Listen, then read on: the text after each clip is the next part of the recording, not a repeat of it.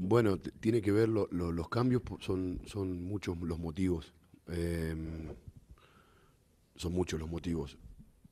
Eh, tiene que ver con el rival, tiene que ver con, con la rotación, tiene que ver con todo, con todo esto. Tiene que ver con la seguidilla de partidos que ahora vienen. Eh, bueno, hay un montón de, de situaciones que analizamos para iniciar con un equipo y finalizar con otro, con otro equipo. Nosotros, a, mí no me gusta esa palabra de titulares y suplentes. Iniciamos con unos jugadores y finalizamos con otros jugadores. Y el próximo partido, los que hoy finalizaron tal vez inicien y los que hoy iniciaron a lo mejor le toque finalizar el partido. Esa es la dinámica de grupo que vamos a construir. Estamos construyendo y tenemos que sostener. Lo más importante, el equipo, por encima de cualquier individualidad y las decisiones mías siempre van a ser con mucha responsabilidad y muy a conciencia. Y, muy profesional. Después de un show, a veces las decisiones mías saldrán bien y a veces las decisiones mías saldrán mal. Y yo ya lo sé eso. Pero intento cada día, cada partido, imaginarme qué va a suceder para no equivocarme. No equivocarme. Pero sé que me voy a equivocar.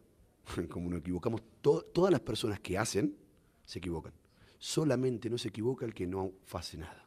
Ese no se equivoca. Yo intento hacer con mi grupo de trabajo lo mejor. Y tendremos acierto y tendremos desacierto en la vida, en el deporte, en el fútbol. No pasa nada. Pero hacemos. Hacemos para que sucedan cosas buenas. Siempre.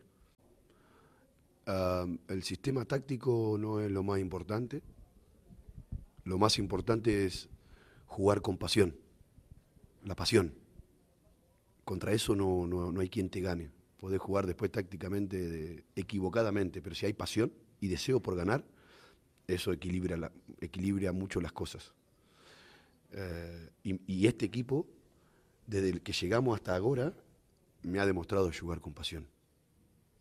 En la final, que, eh, el 2-2 y después que fue nuestro primer partido en Caracas, primer partido de Copa Libertadores y no se íbamos ganando y nadie se relajó, jugamos con mucho profesionalismo y seriedad, que es lo que hay que hacer. Revancha de Copa, de la final de la, de la Copa contra nuestro rival. Encajamos un gol y sin embargo el equipo siguió, sin perder la forma y el estilo.